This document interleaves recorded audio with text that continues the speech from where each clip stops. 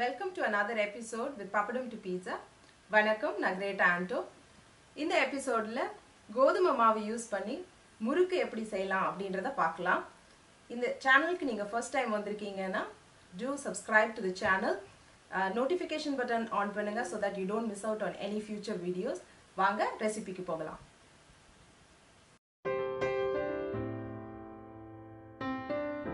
இந்த ரெசிபிக்கு நான் ரெண்டு கப் கோதுமை மாவு எடுத்திருக்கேன். ஃப்ளேவருக்காக மிளகாய்த்தூள் அரை டீஸ்பூன். ஓமம் ஒரு டீஸ்பூன். அது இல்லைன்னா ஜீரகம் சேர்த்துக்கோங்க. உப்பு உங்களுக்கு தேவையான அளவு சேர்த்துக்கோங்க. நான் ஒரு டீஸ்பூன் சேர்த்துருக்கேன். எண்ணெய் ஒன்றுலேருந்து ரெண்டு டீஸ்பூன். தண்ணி மாவு பிசைகிறதுக்கு தேவையான அளவு. ஒரு பாத்திரத்தில் தண்ணி ஊற்றி அது சூடானதும் கோதுமை மாவை பதினஞ்சு நிமிஷம் வேக வைக்க போகிறோம் ஏன் ஸ்டீம் குக் பண்ணுறோன்னு கேட்பீங்க இப்படி செய்கிறதால கோதுமையோட எலாஸ்டிக் தன்மை மாறிடும். அதனால் இந்த ஸ்டெப்பை ஸ்கிப் பண்ணிடாதீங்க. பதினஞ்சு நிமிஷம் மாவு வெந்த பிறகு அதை நல்லா ஆற விடுங்க. இப்போ பார்த்தீங்கன்னா மாவு நல்லா கெட்டியாக இருக்கும் இப்போ மாவு பிளெண்டரில் போட்டு நல்லா பவுடர் ஆக்கிடுங்க.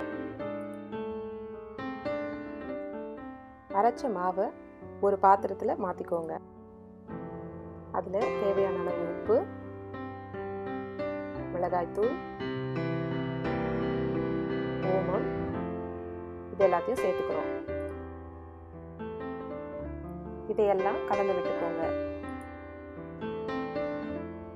இதோட தேவையான அளவு எண்ணெய் விட்டு தண்ணியும் சேர்த்து பிசைஞ்சுக்கோங்க.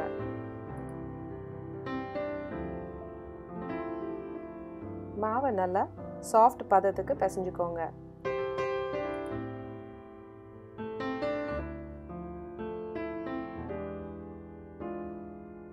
நான் ஸ்டார் அச்சு யூஸ் பண்ணியிருக்கேன். உங்களுக்கு எந்த அச்சு இஷ்டமோ அதை யூஸ் பண்ணிக்கோங்க. இப்போ முறுக்கு ப்ரெஸ்ஸில் மாவை சேர்த்துக்கலாம். உங்களுக்கு தேவையான சைஸில் முறுக்கு பிழிஞ்சுக்கோங்க. மறக்காமல் அந்த என்ஸை ஒட்டி விடுங்க. இது முறுக்கு பிரியாமல் இருக்க உதவியாக இருக்கும்.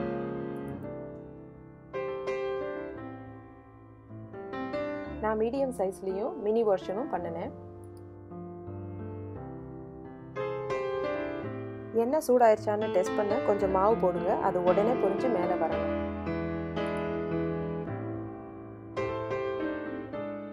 எண்ணெய் சரியான சூட்டில் இருக்கு. இப்போ முறுக்க ஃப்ரை பண்ணி எடுக்கலாம்.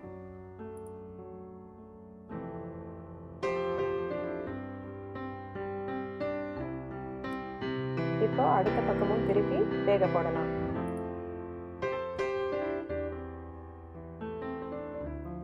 முறுக்கு வெந்துருச்சான்னு ரெண்டு விதமாக கண்டுபிடிக்கலாம். ஒன்று கலர் முறுக்கு கோல்டன் ப்ரௌனாக ஆயிருக்கும் ரெண்டாவது எண்ணெயில் இருந்த அந்த பபுள்ஸு குறைஞ்சிருக்கும். அதை கொஞ்சம் நோட்டீஸ் பண்ணிக்கோங்க. முறுக்கு ரெடி ஆயிடுச்சு. ஒரு சர்விங் பிளேட்டில் டிஷ்யூ பேப்பர் போட்டு ட்ரான்ஸ்ஃபர் பண்ணிக்கோங்க. எக்ஸஸ் ஆயில் ஏதாவது இருந்ததுன்னா ட்ரைன் ஆகிடும்